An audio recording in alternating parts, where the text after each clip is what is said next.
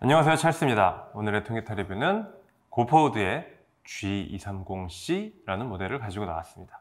최근에 저희가 고퍼우드 라인업 중에 이제 발견한 모델 중에서 입문 단계에서 노려보실 만한 그런 기타라고 할 수 있죠.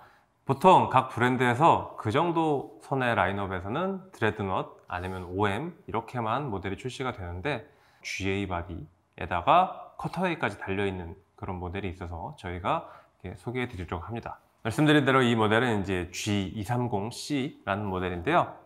이 상판은 많이들 사용하는 Sitka spruce 통기타의 상판 재로 제일 보편적인 나무라고 할 수 있죠. 그 Sitka spruce가 사용이 되어 있고 측후판은 이제 마호가니 종류의 합판이 사용되어 있습니다. 말씀드린 입문 단계의 top solid 그런 등급이기 때문에 이제 바디는 다 무광으로 처리가 되어 있고요. dreadnought과 OM의 중간 정도 사이즈라고 할 수 있는 GA 바디를 가지고 있고요. 그리고 이 cutaway까지 적용이 되어 있습니다. 보통은 cutaway만 적용돼도 제작상의 리스크 때문에 가격이 좀 더 올라가는 편인데요.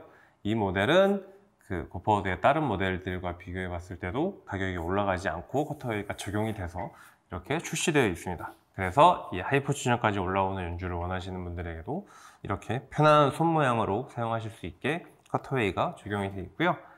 그 2017년 CITES 이후로 요 저가형 기타의 브릿지와 지판재로 많이 사용되던 Indian rosewood가 공급이 어려워지면서 이제 뭐 다른 대체목으로 바뀐 브랜드들도 많이 있고 했는데 얼마 전에 다시 악기 제작 용도로는 이제 규제가 풀려서 이제 다시 이 브릿지, 이 지판재는 rosewood가 사용이 되고 있고요.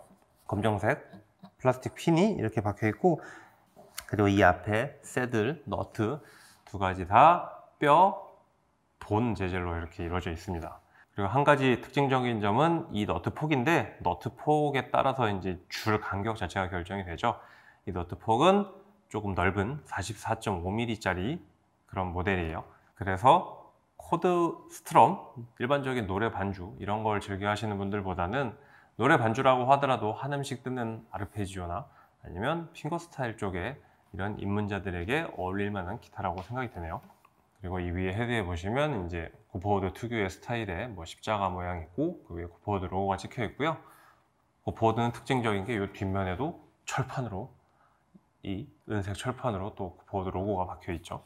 여기까지는 다른 브랜드 제품들과 다를 바 없는 이제 스펙들을 알아봤는데요.